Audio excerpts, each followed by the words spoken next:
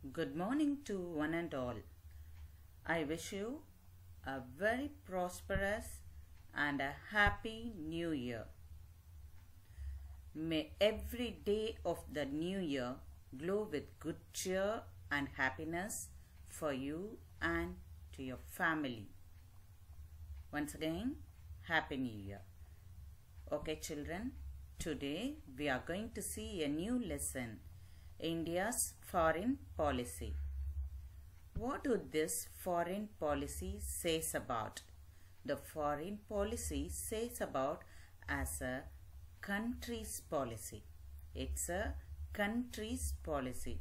How it has been country's policy? It has been conceived, designed and formulated especially for the development of country. Not only that, it also to safeguard and to promote the nation's interest and also the external affairs in relationship with the countries through the trade.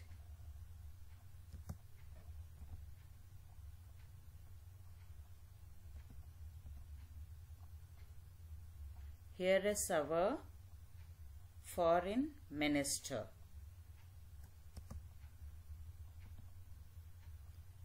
The Ministry of External Affairs of India, also known as Foreign Ministry. It comes under the Government of India as responsible for the conduct of foreign relations of India. This foreign service training institute have been located in New Delhi. What do this foreign policy says again? It is interdependence with international relationship. So this interdependence says that uh, every nation, every country has its own freedom and never depend. But to, through the trade, we have to contact and have good relationship with other country the main tools of foreign policy. It's to make treaties with many more countries. Not only that, also when the treaties or the agreements have been made, it should be executed properly under certain rules and regulations. Also, to appoint ambassadors who were called as ambassadors the intermediators between one nation to other nations. It gives foreign aid during the natural calamities and needs of time of every nation. Also, you are well known about this COVID period. So, during this period also, it has been given aid from one country to other country through the medicine international trade. Not only that, the armed force also have been exchanged from one country to other country through this foreign policy in need of emergency. Only in need of emergency. Well, what do the Constitution of India 1950 says about?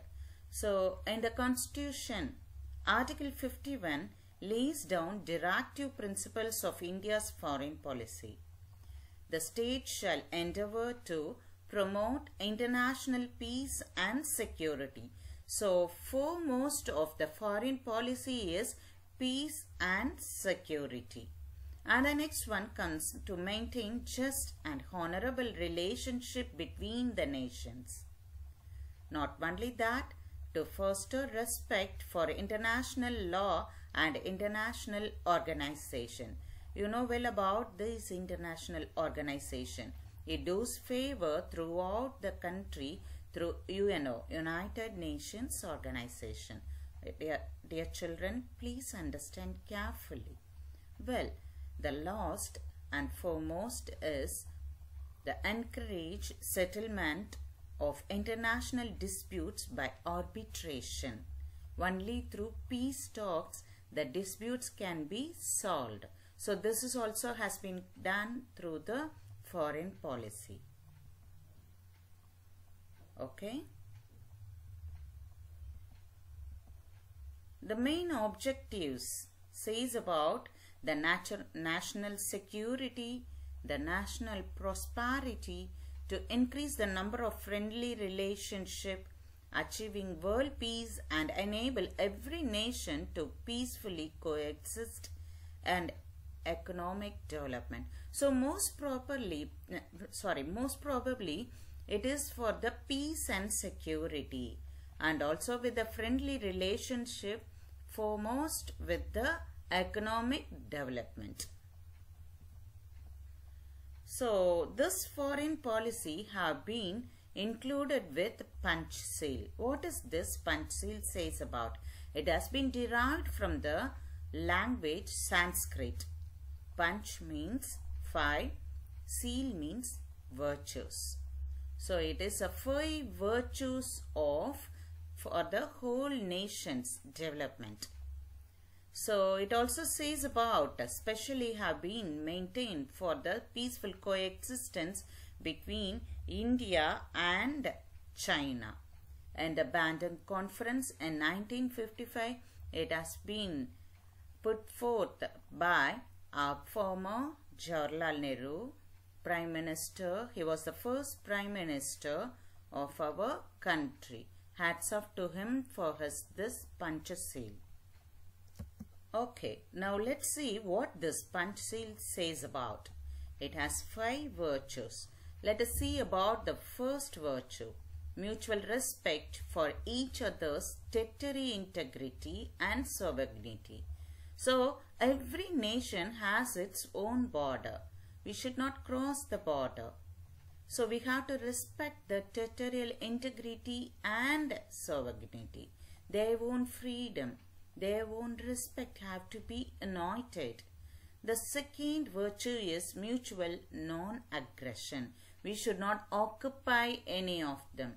You know very well there's a problem between India and Pakistan, isn't it, with the border? So this should not be done. It's called as mutual aggression. But what's the Panchasheel says about mutual non-aggression?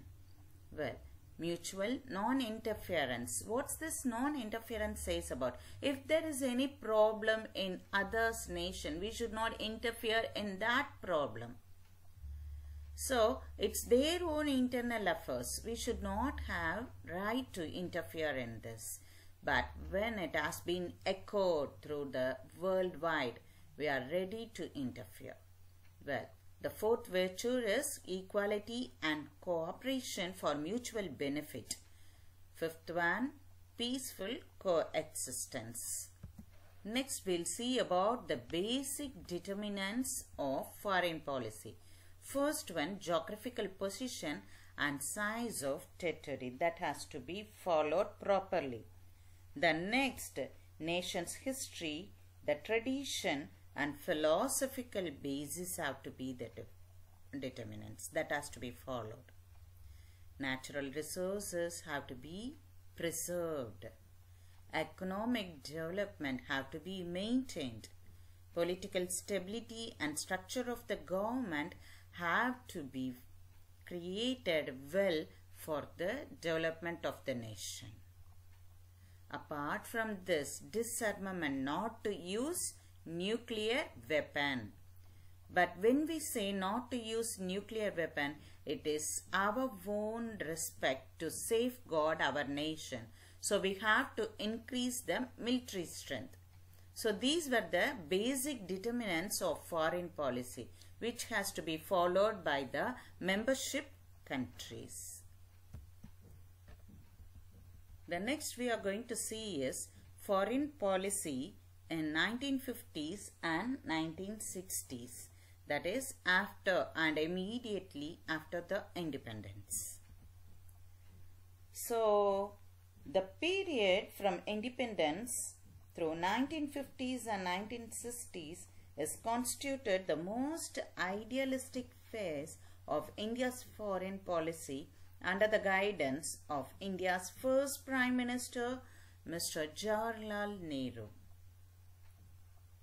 So what do this says about? It specially says about non-alignment. What is this non-alignment? What do this path of non-alignment says about? There was a two superpowers after the Second World War. Who were they? Yes, they were America and Russia. So what do these uh, both the superpowers do? They were trying to expand the influence over the newly emerged nations of Asia and Africa. When they wanted to extend their uh, context or their influence, what would happen? Again, the imperialism continues, isn't it? So this should not be happened.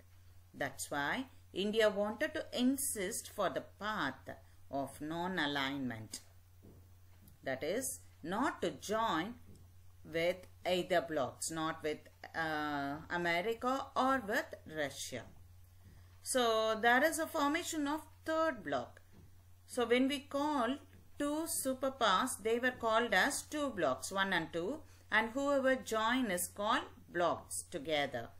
But the third block is the countries that none of them join with America and Russia. They were called as third block. So the formation of third block has been insisted and created and given importance by our former Jawaharlal Nehru. Okay, we'll see in detail what is this non-alignment. It has been coined by V. Krishna Menon in 1953. The aim is not to join in any military alliances. So according to this aim, 120 countries and 17 states have become the members of Non-Alignment Movement that is NAM. Not only that, it has 10 international organization also. Especially, it has a political to economical movement with the contacts. Let's see about the founding fathers of NAM. Jawaharlal Nehru of India, Tito of Yugoslavia, Nasser of Egypt, Sukarno of Indonesia, Kwame Nkrumah of Ghana. So, how was this uh, foreign policy during the Cold War? What was this Cold War says about? There's a war or there's a dispute which is about to burst between the two superpowers, America and Russia. But either of them never wanted to show that or prove that. That is what is called as Cold War. How was it? During this Cold War, many treaties have been signed. Indo-Soviet Treaty have been signed in 1971. Uh, it's a treaty for 20 years pact, especially for peace, friendship and cooperation. So, in 1974, India conducted a Pokhran test, that is a nuclear test in Rajasthan. And that is it. And the next, NAM determined freedom of nations also. So, they never wanted to keep silence. They wanted to do their work. They wanted to improve in their status, prove their dignity throughout the nations. Not only that, it also has been strengthened the defense system. So India does its part very interestingly in the growth of the nation. Also with the new developments in the foreign policy in the 1990s and 20th centuries.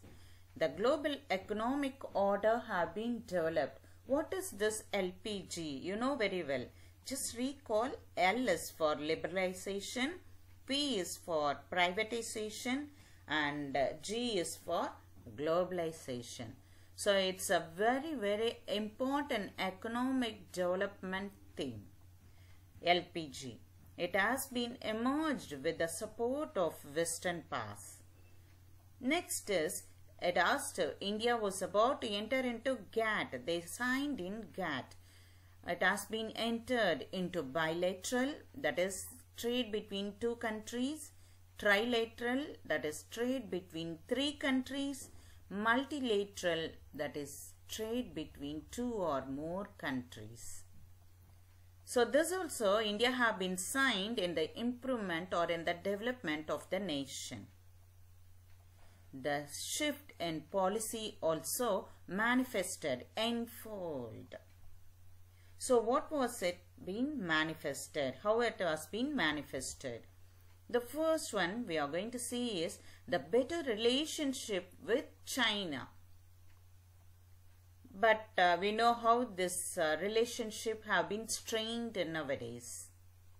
The second nuclear test at Pokhran in 1998 in Rajasthan have been made. The defense procurement relationship with Israel has been renewed. Energy diplomacy with Arab countries and Iran have been developed. Agreeing at the US nuclear missile defense program and not only that, India's vote against Iran at the International Atomic Energy Agency. So with this, the policy has been manifested by the India. So the foreign policy have been developed have been given new face to it. Well children, with this we'll just conclude or just stop the lesson and we'll continue in the next session. Thank you.